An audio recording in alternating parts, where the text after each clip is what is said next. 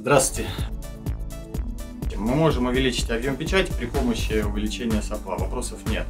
Значит, радиус печати мы э, можем тоже увеличить э, при помощи увеличения стрелы.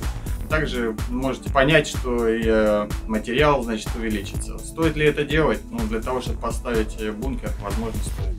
Но для того, чтобы это было строение крепким, это не обязательно делать. Мы используем армирование, этого вполне достаточно. Пенополиуретан, который мы заполняем. А, пространство межстеночное, оно тоже экологически чистое, а, скрепляющее оба слоя, работающий как термос.